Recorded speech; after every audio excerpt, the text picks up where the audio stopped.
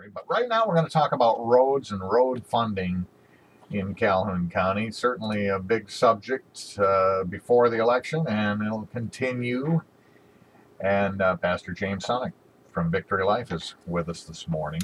Hey, good morning. Good morning. It's nice to have you with us. Uh, you're part of a committee that's kind of looking and talking about these issues. Yeah, I kind of got drafted by some of the local officials that asked us to put together a, a, citizens committee to to educate the citizens on the conditions of the roads and to also get input to empower them to take action. So mm-hmm. hopefully we're going to see some roads being fixed in the near future. And specifically, your committee is for Emmett Township. Absolutely, yeah. This is strictly an Emmett Township committee that is gathered here. But that's a good example. I mean, Emmett probably a bit more I guess urban's not the word I'm looking for, but less rural than some of the other townships, well, but has a lot of the same problems. It, it, really does. What surprised me is how much I've learned. Emmett Township is actually the largest township in Calhoun County. Uh, it has more roads there, and out of all the roads, they actually do a rating on the condition of every road from 1 to 10. 10 brand new road, one is even the base is gone, it's totally gone. 80% of the roads in Emmett Township rated at two or less. Oh my. So there is an urgent need in one of the largest townships in Calhoun County. That, yeah, that certainly says something. In fact, uh, there's an urgent need on your road. Uh, you know, it was it's probably been a, almost a couple of months now, at least a month.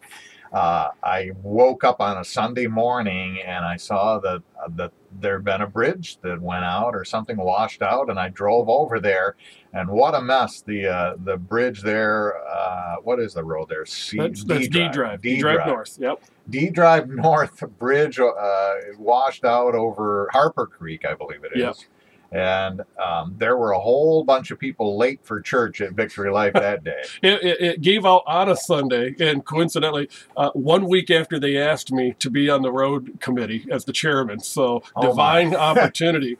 But those culverts there, they discovered that were over 100 years old, or about 100 years old.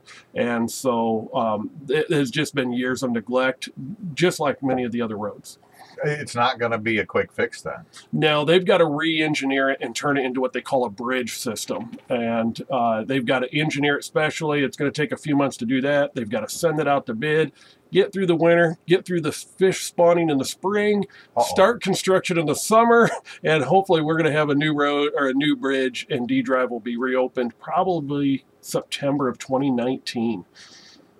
Oh, that's more than a year from now. Yeah, yeah. Eh, well, and of course, then they'll build it so that it'll it'll be flood proof.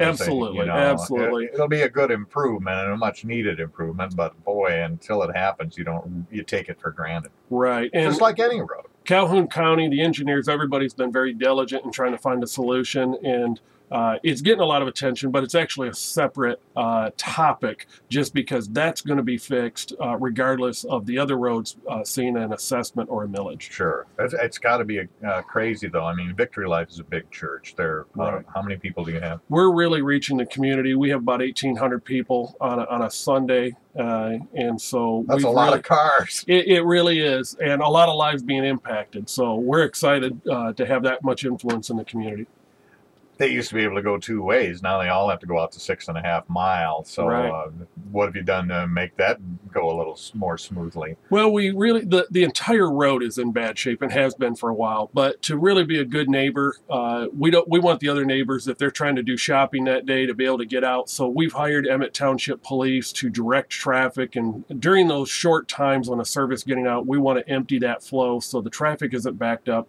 so the neighbors can still come and go. Excellent. Now, back to the uh, Citizens Road Committee and the township yeah. that, that you were a part of. You've had one town hall meeting. You have another one scheduled for tonight at 6. Yep, that's going to be at Friends Church.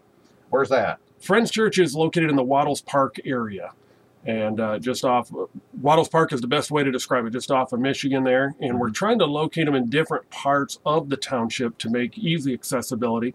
Uh, so that's tonight, and then next Wednesday is going to be right at Victory Life Church, uh, and come, for another town hall. Come by way of six and a half mile, by the way. exactly. Follow the detour signs.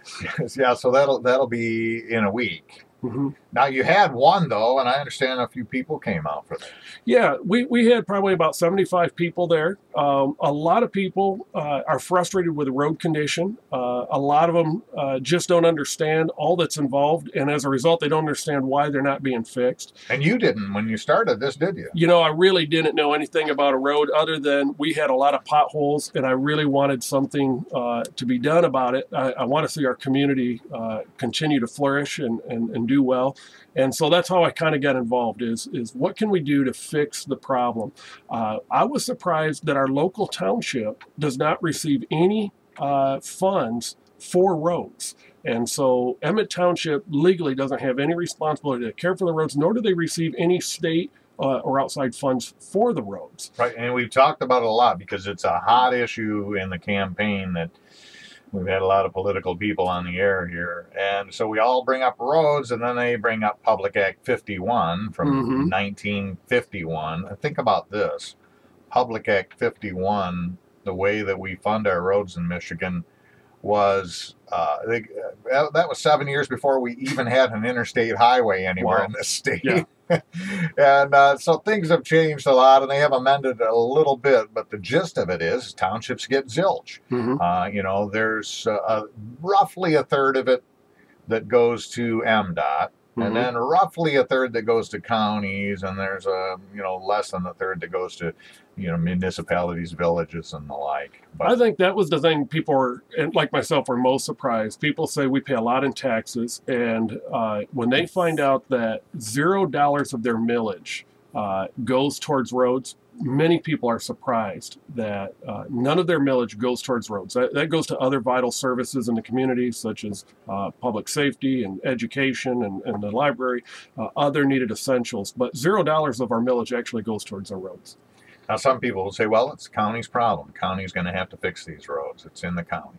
Right, and and they do have a budget to to maintain uh, those roads, but for a project of this scope, it's going to be twenty seven million dollars. Other communities, it, it's simply this is what we tell everybody. There's only three options: do nothing, and uh, a millage failed two years ago, and we did nothing about it for the roads for two years, and the cost has gone up five million dollars Hmm. to fix. So, option one is do nothing, but that has cost five million dollars. Not to mention wear and tear on everybody's vehicle. Exactly. Yeah. The front end alignments, the bent rims, uh, all those things. Option two is a millage, and that would be about a, a 3.1 mils for 15 years. Uh, they've missed the deadline to put it on the ballot for November, so that would be looking at a special millage or election next year, which has some added cost and also puts the, the start of construction out another year to 2020. and increases the whole dollar amount because as you just said it went up $5 million while we were thinking about it from the last time you know, time is money, and the cheapest time to fix the roads is today. Yeah, Absolutely. So, Mhm. but it is viable. Some people uh, see advantages to the to the um, to the millages. One big advantage to the millage is the citizens get to vote for it. It gives them a, a vote and a voice and ownership. So there's some validity, but it's a it's a down the road fix. The third option that we tell people is there's an assessment. An assessment, um, people are confused. They, they hear the word assessor in there. yeah It doesn't mean anybody's coming out to their property. It simply means that the Township Board of Trustees, with a simple majority vote, can assess an amount per lot, which is the same for every lot, and that would be about $200 per year per year for 15 years. Yeah, thank you. Uh, $200 per year for 15 years. So, in essence, all the local roads would be completely redone or fixed uh, for just $200 a year. That's how close we are to a solution. all right well you sold me um, pastor james sunnock no it does sound like like a very reasonable way to do it but you know as we could see when people have a chance to say no on these things they do because it's the only time they can really. Absolutely. uh, the rest of the time it's like hey your taxes are going up. What are you going to do about it? Exactly. But as uh, the folks in Marshall Township will tell you this morning, you put it on the ballot, and there's a good chance that people are going to come out and say no, and they Mhm. did last night there. Well, the voters in Emmett Township have said no twice to a millage already. So a millage proposal has been uh, put out there two times in the past and has failed. Uh, we just tell people those are the only three options. So the, the roads won't fix themselves. They're going to get worse. Uh, you either do nothing, you do a millage, or you do an assessment. Those are the only three options. All right. Pastor James Sunnock, Victory Life Church happens to be, uh, are you the chairman of the committee? I'm the chairman of the committee, and we're going to be holding these town hall meetings to inform people of, of what are the choices and also to take those voices of the people to the Township Board of Trustees. We can't expect them to act in, until they feel confident they know the will of the people. So these township meetings are going to be very important. Pastor James Sunnock of Victory Life Church is on the committee, the Citizens Road Committee in Emmett Township. And uh, basically, you're telling us, that, you know, what you've learned is there's three three ways that township citizens can go here in townships as far as getting roads improved. One is don't improve them, don't do anything, and just grin and bear it, and hope hope that uh, it doesn't ruin your car on your way home every night. Uh, or uh, two, uh, a millage uh, proposal, uh, and three, a special assessment. Now, the Mhm. difference is a millage proposal, as you said, people get to vote on, Mhm. um, and it went down last night in Marshall Township, was voted down. A special assessment would cost the average homeowner $200 a year for 15 years to take care of the problem. Is that what you It, said? it would cost every every homeowner every lot two hundred dollars. That's the simplicity of the assessment. It's it's a Mhm. flat rate for everybody. So it's like a toll road. When you pull up to a toll booth, it doesn't matter what type of car you're driving. You're going to pay fifty cents. So an assessment is very simple. It's two hundred dollars. Every lot is assessed for fifteen years, and a millage is based on the value of your home. So over the years, as your value of your home goes up, so does the amount of taxes you pay. It's a variable cost versus a fixed cost. I see. So if you owned a lot of land, that could you could actually be paying more than you could afford. Is that possible? Um, well, again, a, a millage goes on the, the property value, Yeah. and the assessment just treats every lot the same. Two hundred bucks. There it is. Um, so, but people don't vote on that. The township uh, board votes on it. How many are on the Emmett Township board? There's seven on the Emmett Township board, so you can appreciate, and and I certainly understand. They really need to feel confident. This is something the people want. It is different than a millage. It has different attributes, but uh, I I think they're being wise by saying before we rush into something, we want to hear from the citizens, and that's the purpose of the committee. And the purpose of these town hall meetings, they've had one. The next one is tonight at Friends Church in Wattles Park, and then a week from tonight at Victory Life Church on D Drive North. Uh, what time are those? Those are at six o'clock, and you know the citizens have been really good. I know this is an emotional issue. Uh, people are frustrated, uh, but we really we really bring the focus not on the problems. Uh, they're, they they are what they are. To get something done, we need to really bring it to: Do you have a question that we can help answer and educate, or a solution? So the committee is really forward thinking with educating, answering questions, and listening to solutions. So, how will it go tonight? What uh, what's going to happen at six o'clock at Friends Church? Yeah, well, what we're going to do tonight is uh, we're going to have a segment of education. We're just going to explain people what is a millage and, and what would 3.1 mils or so cost my my house uh, based on the value of my house. We're going to talk about an assessment and just do some education. Some of the questions we have is what about all this casino money? Uh, that has all been earmarked just like a millage, so none of it can be used for the roads. It's got to be earmarked for the millage things. We'll answer those kind of questions, and then we then we open up for a Q and we give people uh, an opportunity to again ask questions.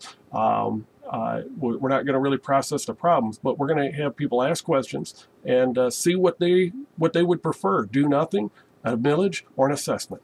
Yeah, those are the choices. Pastor James Sunnock, thanks for uh, stopping in this morning. Oh, thank you so much. Best of luck with tonight's town hall, and uh, we'll try to remind people also about the next week's town hall meeting too, and uh, let me know, uh, you know, how it goes and what the what the overall kind of feeling of the citizens of Emmett Township are on this. We'd like to know. Well, I appreciate it. All right.